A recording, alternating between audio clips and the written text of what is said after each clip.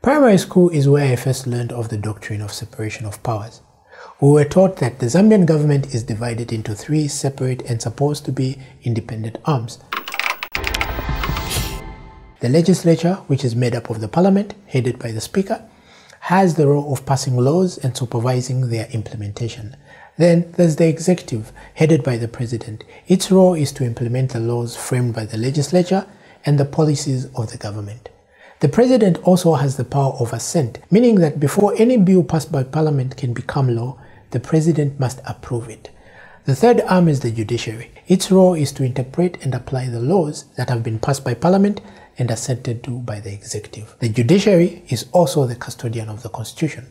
All the three arms draw their authority from the constitution, the supreme law of the land. The purpose of separation of powers, I was told, is to provide checks and balances, which is a key principle of democratic governance, and to avoid the over-concentration of unchecked power in any one arm which could lead to autocracy. So when it comes to the Constitutional Amendment Bill number 10, there is growing debate as to whether it is proper for the Speaker of the House to insist that the process will continue in spite of the court petition by the Law Association of Zambia.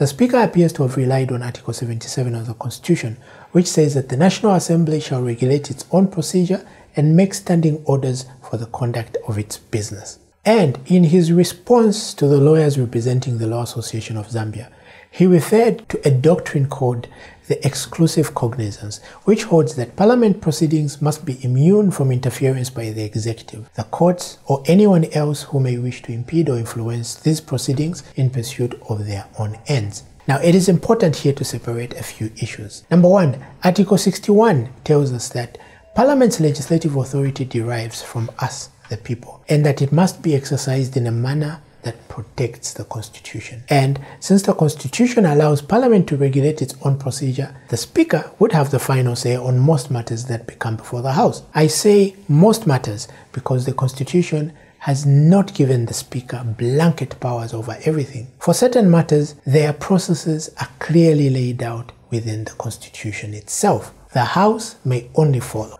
It cannot impose its own rules. The process for amending the Constitution is not an ordinary process. It is spelled out within the Constitution. And Parliament does not enjoy unfettered jurisdiction over the Constitution. Since the matter here relates to the application of the constitutional provision, Article 79 in particular, one could ask the Constitutional Court to scrutinize the legality of the process in line with Article 128, which tells us that it is actually the Constitutional Court that has the original and final jurisdiction to hear any matter that relates to the Constitution. Where is the harm in allowing the Constitutional Court, the custodian of the Constitution, to offer its opinion on whether or not this matter is before the House constitutionally. In my view, the proper thing for the Speaker to do is give me a handy break. Thank you for watching, and I'll see you next time.